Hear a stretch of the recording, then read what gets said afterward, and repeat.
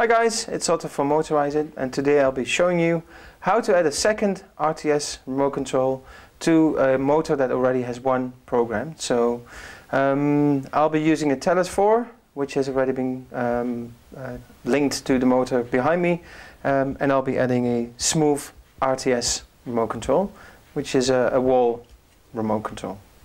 So let's see how we do this. First of all, because it's a it's a five channel remote control, I need to select the right channel, which in my case is channel two.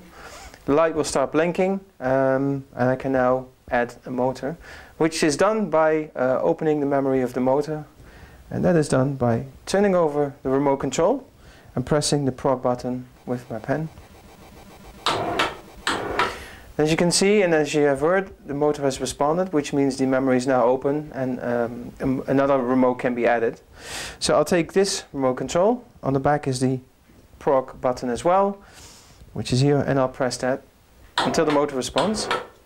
So now both remotes have been linked to this motor uh, and both can control it. Um, so let's see if it works. I'll press the up button and indeed the motor is rolling up. When I press down, it's going down I'll test that for the old remote as well. Still working, so everything has uh, worked as it should.